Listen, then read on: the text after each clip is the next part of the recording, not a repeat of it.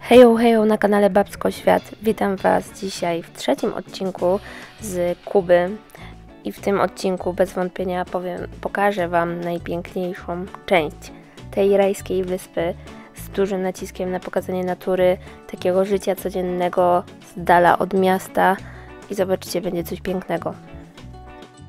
To była już druga wycieczka, którą zakupili, zakupiliśmy w Ola Kuba, e, stricte pod Dolinę Winiales. No i powiem Wam, że zaczęliśmy wycieczkę bardzo wcześnie, bo prawdopodobnie, o ile dobrze pamiętam, około 5 rano, jak widzicie, słońce dopiero wschodziło, ale to nam nie przeszkodziło, bo byliśmy bardzo podekscytowani. E, możecie też zauważyć, że szofer był, te, był ten sam, samochód również ten sam. E, jechaliśmy pierwsze do Hawany, aby odebrać naszą przewodniczkę Kasię. Tam też się zmienili kierowcy, ponieważ to była dosyć długa podróż, no i oni stwierdzili, że wolą się tak podzielić, bo jednak wiecie, e, z samego Varadero do Hawany jest 2,5 godziny drogi, a później z Hawany do Vinales jest następne 2,5 godziny około, także mogłoby być to dosyć męczące i bez sensu, żeby też kierowca siedział cały dzień w, upało, e, w upale. No i tutaj znowu zobaczyliśmy, jak miasto się budzi, miasta, bo przejeżdżaliśmy przez e, kilka miejscowości, jak dzieci szkowały się do, do szkoły jak przede wszystkim słońce wstawało i dawało piękny krajobraz, odbijało się w wodzie. No i powiem Wam, że było pięknie. Wiadomo, że to już była nasza kolejna wycieczka, byliśmy troszeczkę zmęczeni, więc trochę sobie przespaliśmy, ale było cudownie. Jeżeli będąc na Kubie zdecydujecie się na tą wycieczkę, to od razu polecam Wam yy, wziąć takie, ubrać się przede wszystkim, wygodne ubranie, yy, też chroniące przed słońcem, wygodne budki, bo będzie dużo spacerowania. Także wiecie, nie jakieś klapeczki, bo nie tędy droga. Oczywiście też dużo wody. Jak możecie, to jakieś jedzonko. Co prawda był obiad, ale to w zależności co, ile kto potrzebuje. Ja osobiście w upale mało jem, bo się nie da, a na Kubie jest jednak bardzo ciepło. Jest to klimat też taki bardziej wilgotny, E, ale też uważam, że nie doskwierał mi tam tak upały jak na przykład w Emiratach, bo tam się żyć nie dało. Natomiast tutaj już wiecie, poczuliśmy ten klimat i byliśmy bardzo przystosowani. E, jechaliśmy cały czas jedną drogą, drogą narodową, tak to się na Kubie nazywa, e, przejeżdżając przez różne miejscowości i też spotkaliśmy wiele dziwnych rzeczy na drodze, typu wiecie, koń, ale też mogliśmy właśnie zobaczyć biedę, która na Kubie niestety jest okropna. I wiecie, jak byłam pod wrażeniem tego kraju i było wszystko super, to nie, nie ukrywam, że często łamało mi się serce, jak widziałam w jakich warunkach żyją ludzie. Jak możecie zobaczyć, te domki to, to są takie, wiecie, domy z kart tak naprawdę, dlatego że przez Kubę często przechodzą tak naprawdę co roku w okresie wrzesień, październik przechodzą e, huragany, no i te domy po prostu im fruwają. I właśnie jak wcześniej wspomniałam, że w tamtym roku mieli dosyć mocny ten huragan i widać jego szkodę na całej wyspie. Ale takim, taką charakterystyczną rzeczą jest, którą możecie zauważyć na moim filmie, jest to, że tam każdy, niezależnie czy dom jest wypasiony czy nie, ma bujane fotele na werandzie przed domem i tam Kubańczycy właśnie uwielbiają spędzać swój wolny czas i odpoczywać. Warto też dodać, że oni właśnie w takich malusieńkich domach żyją wielopokoleniową rodziną. Także tam jest takie coś, że po prostu starsi opiekują się młodszymi, bo wiecie, ciężko im się utrzymać jako pojedyncze osoby. Ja dzisiaj jesteśmy na kolejnej wycieczce w Dolinie Winiales. Patrzcie jak cudnie. Kubańczycy mówią, że to jest taka i kubańska Tajlandia, tylko bez wody. E, no jest tutaj cudownie, ale jechaliśmy z Valladero 5 godzin przez Hawanę, więc E, dosyć sporo czasu nam to zajęło, ale też jest uważam, że warto. To jest nasz pierwszy przystanek, taki teraz widokowy. Chcecie zobaczyć? A następnie chyba udamy się tutaj i będziemy mieć różne inne atrakcje. Więc do zobaczenia. Po lewej stronie możecie zobaczyć taki różowy hotel z basenem. E, gdzie wybierzecie się, jak wybierzecie się na taką wycieczkę bardziej objazdową e, po Kubie, a nie wycieczki fakultatywne, jaką my wybraliśmy, to jest duża szansa, że tutaj w tym hotelu się zatrzymacie. E, ponoć jest świetny, tak nam rekomendowała go nasza Kasia. E, no widok z niego to myślę, że przy śniadanku jest bajeczny, ale też właśnie w tamtym roku został bardzo zniszczony przez huragan, więc wiecie też, wszyscy się po prostu grabdają do życia. No i tutaj widzicie, że jest taki slow life. Praktycznie wszyscy tutaj jeździli albo mają konie w ogrodzie. E, bardzo mi to przypominało dziki zachód. Nie byłam nigdy, ale czułam się jakbym tam była. E, I tutaj też e, warto wspomnieć, że te domki są tak oznaczone przez takie niebieskie tabliczki i to oznacza, że można w nich się zatrzymać na nocleg. Oczywiście, wiecie, żeby dostać pozwolenie na wynajem pokoju, to Kubańczycy muszą się starać od rządu i oczywiście też rząd pobiera daninę za takie coś, więc ach, naprawdę ciężko tam ludzie mają, ale możecie zobaczyć po prostu jak to wygląda u nich na wsi. Też często widziałam właśnie przy tych domkach takie stoliczki, gdzie były na takim cieple wystawione jakieś napoje, oczywiście też alkohole, różne sery. Nie wiem jak to ludzie jedzą i nie wiem jakim cudem to się im nie psuje. No ale oni tak funkcjonują, więc wiecie. O tutaj możecie właśnie zobaczyć te bujaki. No, czułam się tam niesamowicie, powiem Wam. Ja lubię takie dzikie klimaty, wiejskie klimaty przede wszystkim, bo jest w nich magiczna po prostu aura i przede wszystkim poznajemy tych ludzi, takich prawdziwych Kubańczyków. I wreszcie dotarliśmy do naszego głównego punktu tej wycieczki. Była to plantacja tytoniu, no i też tutaj była degustacja, nie tylko tytoniu. E, zobaczyliśmy rośliny, mm, cały proces mm, od A do Z, jak one rosną, od nasionka do już takiego jakby gotowego produktu. E, poznaliśmy też plantatorów, mm, również, którzy uprawiają kawę, którą zakupiliśmy w takich butelkach plastikowych, takich wiecie, brudnych, starganych przez życie, ale przywieźliśmy do Polski. Mm, ja nie jestem smakoszem kawy, ogólnie bardzo rzadko pijam, ale była spoczko. Polecam ogólnie zbierać tych ludzi, bo to jest naprawdę ich jedyne źródło utrzymania. natural, no tiene nada, solo seco. Después, después que está así seco, hay una ley que el gobierno viene a la finca y se lleva el 90%. O sea, él lo paga, lo que él paga, lo que él prefiera. No i potem po tym okresie suszenia przychodzi... I tutaj właśnie widzicie suszarnię.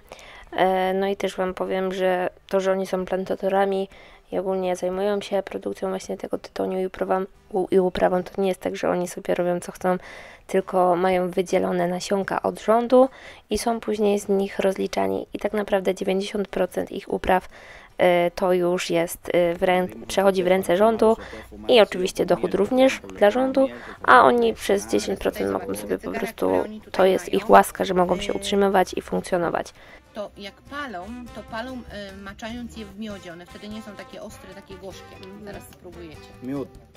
Miód. Też miałem pszczoły. O, proszę. Mój tata ma. Miód. Pozdrawiam, miodowy cygar.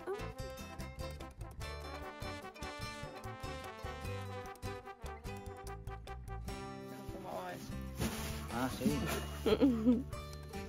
La primera parte del tabaco es esta que está acá, que se Tutaj llama la zobaczcie, tripa. e, cygaro składa się jakby z trzech części. Z flaku, czyli tego wnętrza, pierwszej liścia i drugiego zewnętrznego La liścia. tripa no tiene nada que ver si las hojas están rotas. Lo más importante es que estén bien secas para hacerlos puros como pegamento. En esta parte de acá le pone la resina de un árbol que viene de Canadá, el maple, maple. Tutaj e, jak się skręca Estamos autorizados.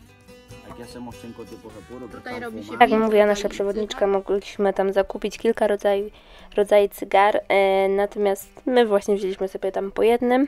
E, tak naprawdę to są te cygara, które można kupić, takie wiecie, kubańskie cygara, to właśnie są prosto z tych e, plantacji, e, upraw. E, Natomiast wiadomo, że już tak na mieście możecie kupić takie oryginalne z emblematem. pieszo konną, znaczy ja idę, a Cyprian jedzie sobie na koniu. Ja mam niestety alergię na konie, więc sobie muszę zachować dystans, bo się to źle bardzo skończy, a wiadomo, że na Kubie nie jest zbytnio dobrze z hospi- hospitalizacją i ogólnie z leczeniem, tym bardziej alergii. Ja już mam taką dosyć mocną, więc niestety nie atrakcja ominęła, ale Cyfran tam sobie dobrze daje radę i myślę, że jest mega zadowolony. Słuchajcie, jesteśmy w bardzo pięknym miejscu w Dolinie Vinales.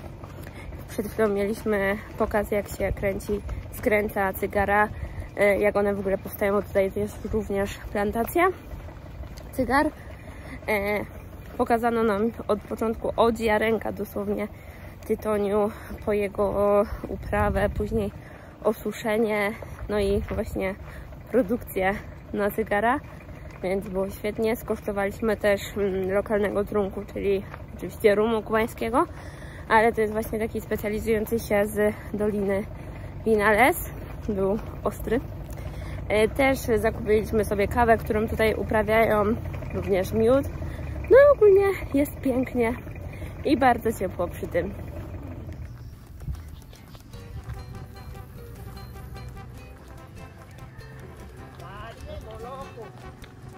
Spoko loko.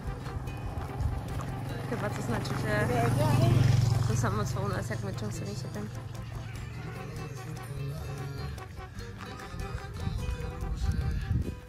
Powiem Wam też szczerze, że nieważne czy byłam w Hawanie, czy właśnie w tej wsi, jaką tutaj możecie zobaczyć, tam z każdego rogu wydobywała się muzyka.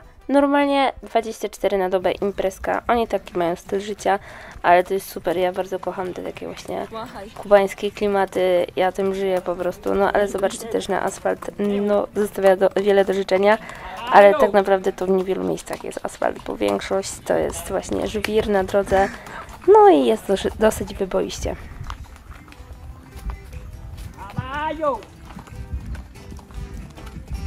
Podzielić się moimi spostrzeżeniami na to państwo. To Kuba jest naprawdę świetną wyspą, świetnym krajem. Jest mega piękna, zielona. Nie, nie spodziewałam się szczerze, że będzie tu aż tak zielono. Jest pełno bananów, czyli moich ulubionych roślinek. Natomiast jest mi bardzo przykro, że ludzie mają tak tu przesranę dosłownie przez rząd rząd w ogóle nie przejmuje się tutaj obywatelami, nie przejmuje się w ogóle jaki oni mają standard życia, jak im się żyje. Nie chce robić nic, żeby cokolwiek im się tutaj poprawiło. Po prostu jest jeden wielki dramat. Patrzy się tylko na siebie i żeby im było dobrze, tak jak wcześniej mówiłam. Tutaj jest też właśnie tak jak nasza przewodniczka, którą serdecznie pozdrawiamy, mówiła, że no Kuba jest Ola jest świetnym miejscem na rolnictwo, na uprawy. Tak naprawdę tutaj przez cały rok można mieć kilka zbiorów po warzywa, po jakieś super owoce i wszystko. Ale oczywiście rząd na to nie daje zielonego światła i nawet zakazuje, więc on robi wszystko, żeby tym ludziom było źle. Odcina ich od bieżącej wody, od prądu. Oni po prostu mają co parę dni wodę w domach. Prąd jest wyłączany na parę godzin dziennie żeby było oszczędnie. No także jest dramat po prostu. Wszystko muszą przywozić statkami, nawet nie wiem, pomidory, to mogliby świetnie tutaj uprawiać. Także wszystkiego tutaj brakuje, naprawdę.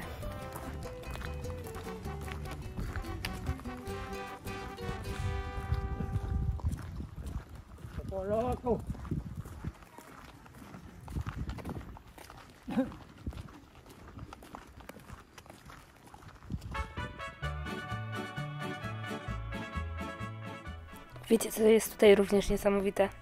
Że oni naprawdę wszyscy tutaj cały czas palą te cygara.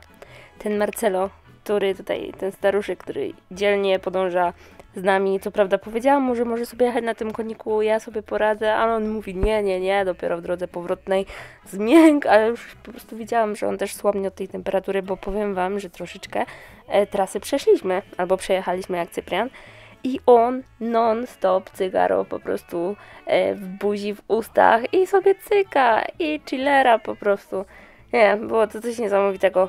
Powiem Wam, że ogólnie spoko były te cygara w smaku, szczególnie z miodem. Ja sobie też kupiłam całą, e, kupiliśmy sobie całą taką, takie pudełeczko, gdzie było chyba 30 tych cygar takich, wiecie, oryginalnych.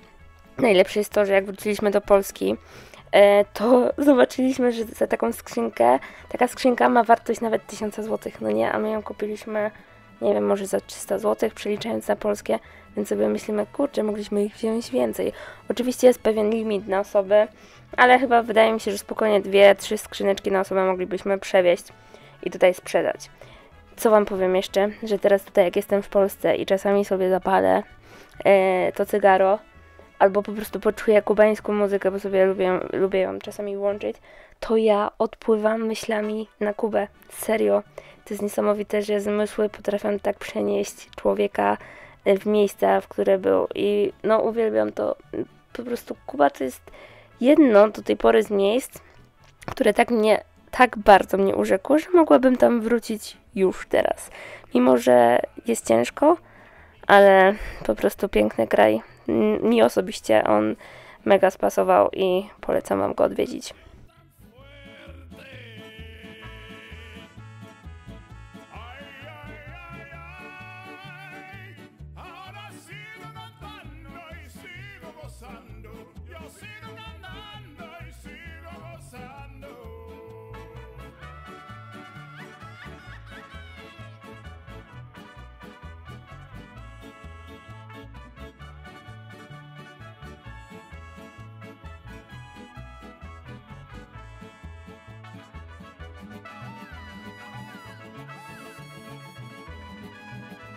Powiem Wam, że nasz trip po krótkim przystanku na piwko dalej trwa, a ja cisnę. A chłopaki przede mną na konikach. A jest tak ciepło. No nie wiem, jest 30 parę stopni, ale jest wilgotność duża. Więc naprawdę jest ciężko, tym bardziej jak wchodzę w taki lasek albo trawy jeszcze bardziej robi się duszno. Ale zobaczcie, jak tutaj ludzie mieszkają. Normalnie domy. Można zapomnieć o asfalcie. Głównie poruszają się tutaj za pomocą koni albo jakichś takich skuterków małych. Więc no, doceniajcie ludzie to, co jest w Polsce, serio. Czy zapomniałam dodać, że ludzie, którzy mieszkają właśnie w tej dolinie Winiales, utrzymują się głównie z turystyki. Rok temu przyszedł, przeszedł tu ogromny huragan, gdzie po prostu zniszczył im tu wszystko, całe plantacje, domy, wszystko musieli od nowa budować. O, pojawiła się droga asfaltowa, więc naprawdę żyje im się tu bardzo, bardzo ciężko. No i my turyści możemy ich wesprzeć tylko jak tylko możemy. Ale naprawdę są mega serdecznymi ludźmi. Marcelo, który z nami Marcelo, który z nami e, jedzie, jest zarąbistym gościem. Mimo, że on nie wząb po angielsku, my nie do końca wząb po hiszpańsku jakoś to e, dogadujemy się, więc spoko. Na szczęście wzięliśmy sobie taki słowniczek hiszpański, więc coś tam jesteśmy w stanie przekazać.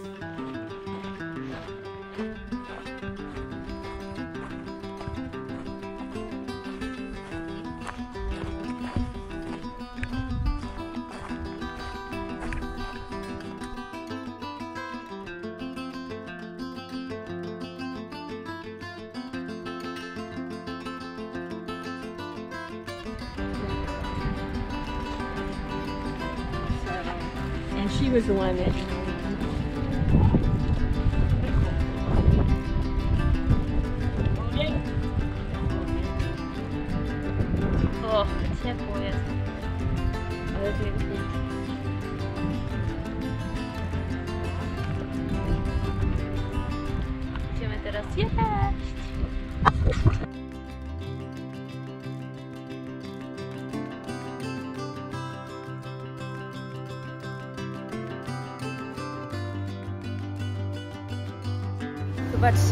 pięknym widokiem jedliśmy obiad. I teraz już po mm, intensywnym trekkingu mieliśmy wreszcie czas na jedzonko. E, nasza przewodniczka zabrała nas do restauracji, która była prowadzona przez kubańską rodzinę z pysznym jedzeniem. A powiem Wam, że znaleźć dobrą knajpę na Kubie, to powiem Wam, jest wyczyn. Oczywiście to miejsce było sprawdzone przez biuro, e, było bardzo dużo jedzenia. Dostaliśmy kilka posiłków, było przepyszne, a co najważniejsze, oni sami hodują sobie warzywa. Mogliście tam wcześniej zobaczyć w ogródku właśnie tej knajpki. No i widok był oszałamiający, naprawdę. Aż chciało nam się tam zostać do wieczora. E, no i też Wam powiem, jak to wygląda z pracą na Kubie. To, że mają ciężko, to jest jedno, a druga kwestia jest taka, że oni są bardzo, bardzo leniwym narodem. I oni, wiecie, im już w sumie pasuje takie życie, że no, y, będą sobie pracować tam za 100 euro miesięcznie, y, ale co z tego, jak połowę rzeczy wyniosą sobie z miejsca, w którym pracują i sprzedadzą na czarnym rynku, wiecie, na lewo, no i tak żyją. Natomiast tam, gdzie mają możliwości y, do zarobienia takich uczciwych pieniędzy, na przykład jak w tej restauracji, to już im się nie chce za bardzo. I ostatnim punktem naszej wycieczki był mural prehistoryczny. Jest to fresk o długości 120 metrów, znajdujący się właśnie w Dolinie Winiales na Kubie. E, został namalowany w latach 1961, a skończo skończony w 1965 przez e, Gonzaleza Morillo kubańskiego artystę i ucznia meksykańskiego malarza Diego Rivery. My co prawda nie byliśmy pod samym muralem, ponieważ mm, wejść, wjechanie pod ten mural e, było dodatkowo płatne, a stwierdziliśmy, że w tym miejscu, w którym jesteśmy, e, będzie ok. Zrobiliśmy sobie foty, też mogliśmy go tak w miarę z bliska zobaczyć, więc było spoko. Coś śmieszne, że oni ten mural muszą co roku poprawiać, bo przez deszcz on się po prostu zmywa więc to nie jest taka rzecz, która raz została namalowana i została na zawsze, tylko po prostu jest y, cały czas odnawiana. I jest to doskonały sposób, aby poznać prehistoryczną historię Kuby. Tak sobie wszyscy to tłumaczą. No i ostatni dzień spędziliśmy na plażowaniu. Y, mieliśmy w hotelu możliwość y, zabrania sobie kajaka za darmo. W sumie było to w pakiecie. E, troszeczkę popływaliśmy, chociaż nie ukrywam, że na tych falach było ciężko utrzymać stabilizację. Oczywiście wieczorek też spędziliśmy na hotelu, bo w sumie mm, w obrębie tego miejsca, w którym byliśmy, czyli Varadero, no nie, nie było tam co robić za bardzo poza hotelem, więc noce, wieczory spędzaliśmy właśnie w nim. Ale zobaczcie, jak było urokliwie. A ostatni dzień mieliśmy właśnie dzień kubański i od rana po prostu w tle przykrywały kapele kubańskie, no, które jak już wcześniej pewnie mówiłam, są niesamowite, naprawdę.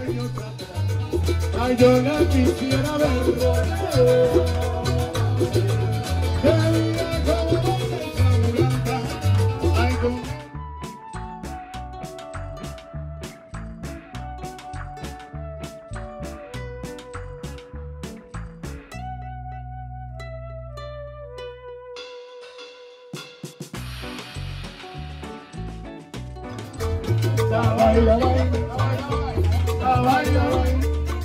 właśnie spędzaliśmy ostatnie godziny na Kubie, aż żal było wracać. Naprawdę to był jeden z lepszych dni.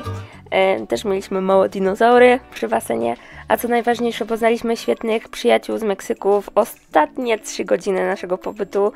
E, naprawdę myślę, że to, ta znajomość może z nami zostać na wiele lat. Super ludzie. Ogólnie kocham ten naród, kocham Meksyk, chociaż tam jeszcze nie byłam, ale będę. Kocham Kubę. Jest tu coś niesamowitego. Serdecznie Wam tutaj, tutaj polecam przybyć. Ola, my już jesteśmy w Hawanie na lotnisku. Kupiliśmy sobie takie hot dogi do jedzenia. Jesteśmy głodni bardzo, bardzo.